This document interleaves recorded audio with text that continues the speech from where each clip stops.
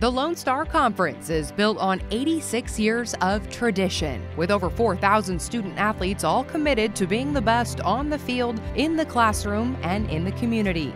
A conference that has crowned 76 national champions and honored over 300 academic All Americans. A proud member of NCAA Division II, with 11 premier institutions spanning New Mexico, Oklahoma, and Texas.